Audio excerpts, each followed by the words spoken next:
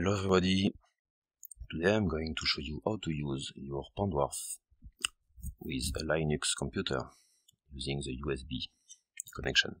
So normally we connect to Pandwarf using Bluetooth with an Android phone. So today I'm going to show you how to enable this, enable USB in Android application. So already connected with USB, checking that no device is detected, okay. We don't see or vendor ID PID. Now I'm connecting to my device using BLE. Okay.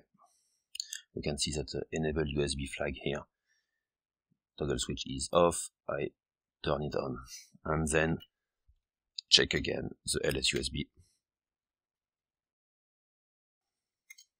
Okay.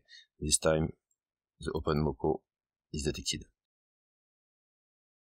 Now I disconnect from BLE, unplug USB, replug USB, check my OpenMoko is still detected, check it in dmessage also, that everyone, everything works fine, up, up, up, okay, so we can see that uh, new USB device found, under ID PID, Pandwarf dongle, etc.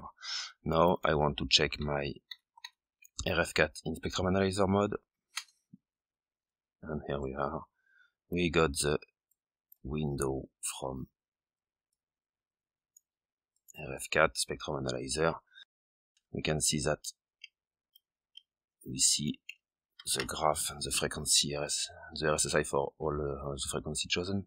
We can see also that the uh, Pandwarf is blinking um, green. Perfect. Close closing the RFCat. Still in LSUSB, still connected to LSUSB. Okay, now I will reconnect to my device in BLE.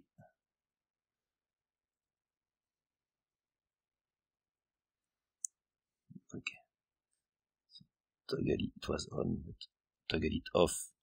Now it's off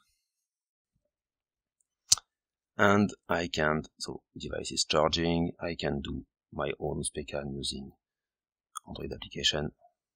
Okay, the graph is living, is alive, and data is,